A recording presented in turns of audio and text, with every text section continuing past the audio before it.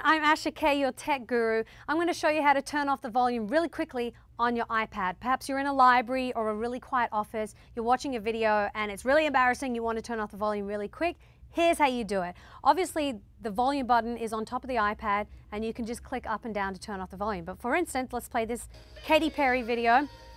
So the volume's really loud, for instance.